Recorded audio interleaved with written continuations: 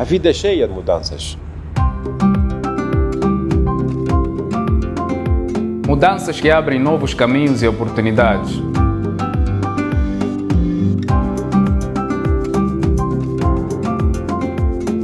e apontam para o futuro com mais tecnologia, maior cuidado com as pessoas e o ambiente em que vivemos.